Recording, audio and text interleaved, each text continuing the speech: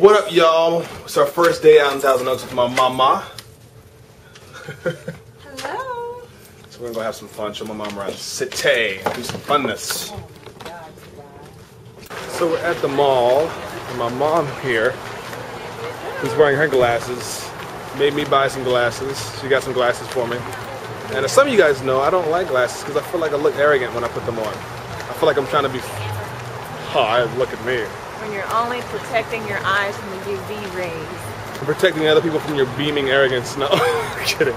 I t- always, I've always felt funny when I put on glasses. I don't know why. Or when he chews gum.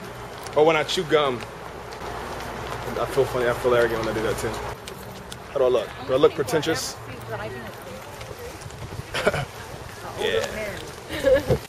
So we're at PF Chang's right now, throwing down. Gorgeous day. Me, mama, You like it? Lisa, Yeah. our food. Hey everybody, we just got home from from um, The mall. from Eating. the mall, from eating, from all that stuff. We're kind of kicking back on the patio right now. Lisa has hijacked my iPhone and now she's playing this new game that we're both obsessed with called, what's it called? Ragdoll or something, like Something that. like that. It's a lot of fun games on iPhone. Anyway, so we're kicking back. We're going to strike, strike up the uh, fire pit in a little bit. Move my computer. My mom was just talking about all the, the nicknames she used to call me. She's going to share a few random nicknames. Bobby Peterson. Bobby Peterson was the little schoolboy type. That's when mom was younger. And I used to dress him all neat. And he just looked like a Bobby Peterson with his little school books. Then there's Reby Rodriguez.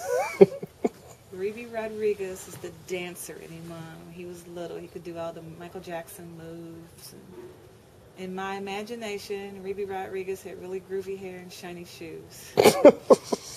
My mom had backstories for these nicknames. And probably, you know, like a really neat jacket, you know, like Michael Jackson had, you know, kind of sparkly, rhinestoney, Reby Rodriguez. Ow! I never even knew all of that. Bear. Bear. Dad, my dad still calls me Bear. Yeah. Cute as a button. And he's a little baby bear. God, I'm never gonna hear the end of this on YouTube. And also there's Puppy. Puppy was I like Puppy, Puppy. and he called me Puppy because I was just so hyper and just so Yeah. all over the place yeah. and clumsy. You can't forget the most infamous one of them all, Hank. Oh, and Beechmont Mall. Oh, I mean, mine was a baby, there was a uh, Pampers commercial, and the little baby's name was Hank, and he would cry when he would get wet. And the commercial said Hanky was cranky. So in mine, when he was little, you could tell when he was tired or frustrated or mad. His eyebrows would turn red. A red line just like that behind his eyebrows. And go, uh-oh, Hanky's cranky.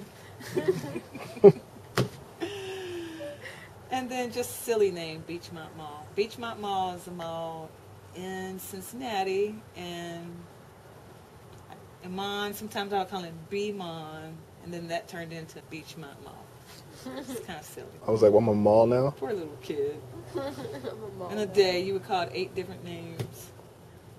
But it was all in love and very fun. I had the oddest nicknames.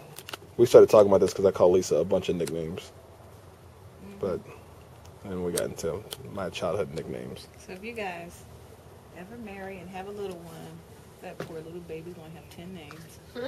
mm-hmm. His most famous one's gonna be "Hey you." no, it will not. Hey you, clean your room. hey yo, we're outside now. Uh, we're just chilling next to the fire. My mom and I are having some wine. We're just having some fresh air. and we're just sitting here talking about old stories of my childhood and just funny stuff like that. and we were reminiscing back to a time when this lady at church gave me a book. Why did she give me that book in the first place? From growing up. It was a book about growing up, but it was kind of like a book about sex, but for kids. It was kind of odd. And the book, like the book, kind of explained how a man and woman have sex, and like it was really bizarre. What else did the book say? It was it, it, it talked about masturbation and how to do it. I don't know why she gave me this book. I don't even remember what the deal was. I don't think she knew. No? Yeah, she gave me this book, and I took it to school because I was like, wow. To show it to all my friends. Here's a book for kids that teaches you how to have sex and masturbate. And she went to my church and gave me this book. I took that book to school, showed it to everybody. Of course, I got in so much trouble. And my poor parents, she my parents didn't really know about the book. We thought it was like, oh, thank you. It's a book about life. Son. Here's a book. You know, they're just like, oh, Lady Church gave him on a book. That's nice. They didn't know what was in that book. Well, I went to school and showed everybody. And I got in so much trouble. That's crazy. I almost forgot about that story. That's funny. I was stirring my casserole. I heated up some casserole. And Lisa does not like this noise. You ready for it as I stir my casserole? That's disgusting. Does that noise bother you guys? Alpha.